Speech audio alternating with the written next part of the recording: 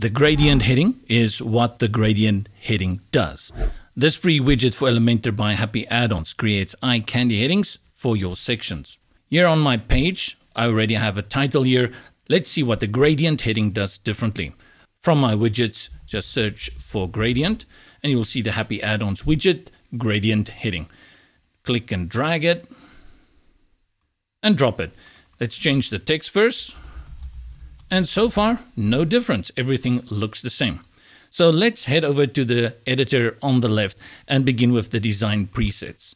And this will give you an idea of what you can start, where you can start, and what you will be able to do with it. It's not spectacular in the sense that you're going to make big changes to your typography. The only big difference here is that you get a gradient. So let's switch it back to design one because that's your basic gradient. And then you can just have a look here under title. We can change the text directly on the page. You can also do it here, add a link and set the alignment over here.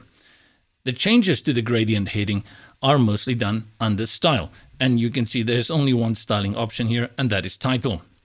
You can go here for your classic text color, which will just be one solid, but we are interested in the gradient. And from here, you can make changes to the gradient color.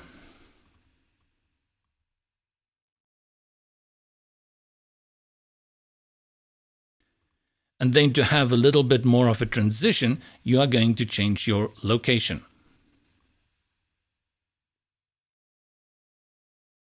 This one a little bit further to the right. You can change the angle over here. Bring it to the bottom.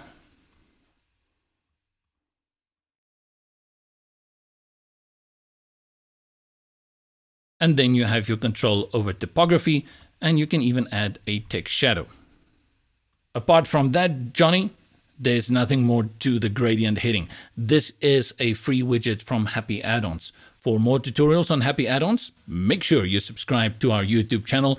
From me, JP, have a great day, stay safe, see you in the next video.